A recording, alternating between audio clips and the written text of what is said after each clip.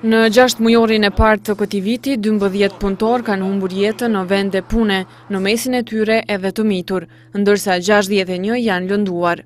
Inspektorati i punës vlerëson se sektori publik vazhdon të jetë më i sigurt.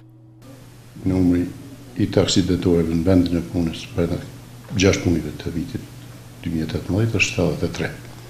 Dymbëdhjetë janë me pasojë me fatalitet e gjashtëdhjetë e një janë me aksidente që kanë pësu lëndime, qoftë të lehta ose të rënda. Por sektori privat e përbën shumicën e punëdhënësve.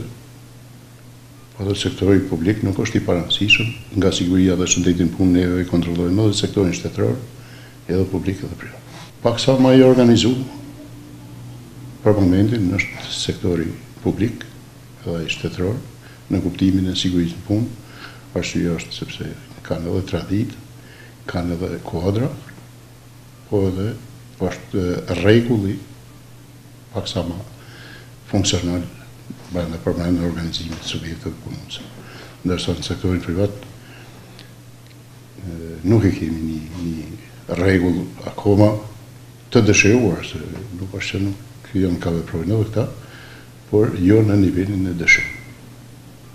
Në Bashkimin e Sindikatave të Pavarura të Kosovës konsiderojnë se siguria në vendet e punës nuk është në nivelin e duhur.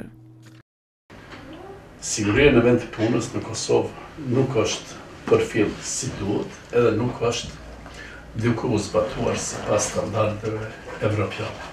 Për arsye të mossigurisë në vendin e punës edhe kemi pësime për shembull. Ne kemi pas pësime edhe këtë vit, edhe vitin e kalum kemi pas që punëtori për dy drasa, ka humbë jetën, e ka zonë për shembull dheu në kanal.